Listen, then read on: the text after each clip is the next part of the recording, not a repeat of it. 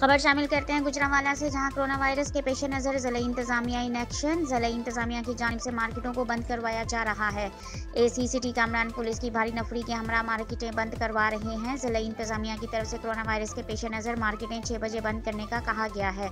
Report कर रहे थे मोहम्मद अमीन गोराया, गुजरावाला से district chief reporter, great news.